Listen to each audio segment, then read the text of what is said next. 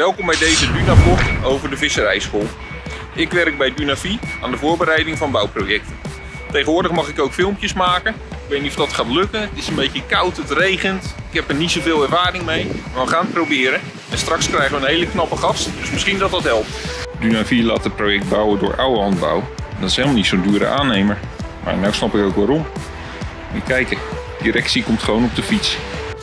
Toen we in 2017 de bouwvergunning hebben aangevraagd voor de nieuwbouw van de huurwoningen, toen mocht je nog gewoon woningen verwarmen met gasketels. Tegenwoordig mag dat niet meer voor nieuwbouwwoningen, maar hier had het dus nog gekund. Lunavie heeft er toch voor gekozen om te verwarmen met warmtepompen.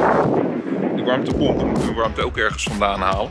En daarvoor zit er voor elke woning deze dikke slangen in de grond, 160 meter diep, ongelooflijk.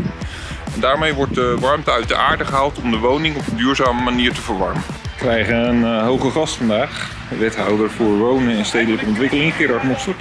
Daar is hij. Ik ga hem even begroeten. Hey, dag Gerard, goedemorgen. Hoi, goedemorgen. Je moet er helemaal op. Ja, nou, dit doe ik op. ja. ja, want weet je waarom? We zijn begonnen met bouwen hier. Het is ongelooflijk, maar na Gelukkig zoveel maar. jaren Fantastisch. gebeurt er iets. hè? Echt heel goed. Super. Nou Gerard, eh, we gaan even een filmpje maken vandaag over de visserijschool. Ja, leuk. Ja. Jij hebt denk ik meer ervaring voor de camera als ik. Het is weer verkiezingstijd, hè? dus als je nog tips hebt tussendoor, hoor ik het graag. Ja, Ja, elk project heeft zijn uitdagingen, eh, maar hier waren er wel heel veel. Eh, we hadden beschermde, eh, beschermde natuur om de hoek, stikstofuitstoot, monumentaal gebouw, parkeerdruk, van alles. En een financieel plaatje wat heel moeilijk rond te krijgen was. Dus ja, we hebben heel veel plannen moeten maken en dat hebben jullie ook allemaal gezien. Maar eigenlijk zijn ze allemaal gesneuveld op de laatste naam natuurlijk. ja, en deze is gelukt. Ja, zo is het.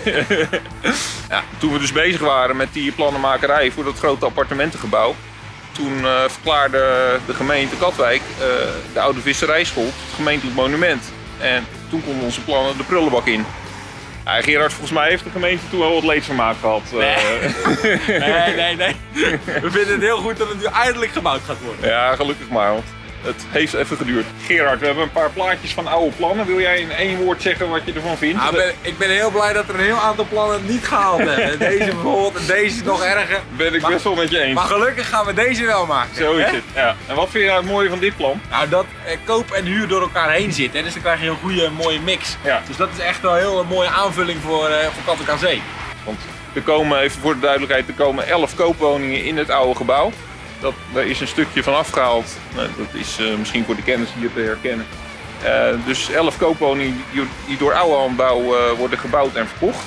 En hier op de voorgrond werkt de oude handbouw voor Dunavie aan eh, 21 sociale huurappartementen.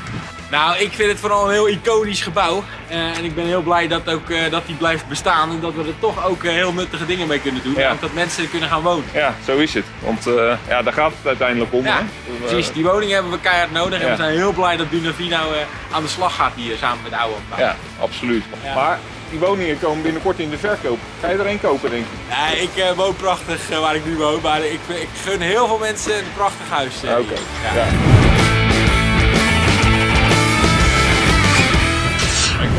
Eh, Ruud en Viola en Remco, Remco die hebben pas een heel leuk filmpje gemaakt over duizenden bloembollen die ze in de grond stoppen. En het is natuurlijk hartstikke mooi als die straks opkomen in de lente en een hartstikke goed idee.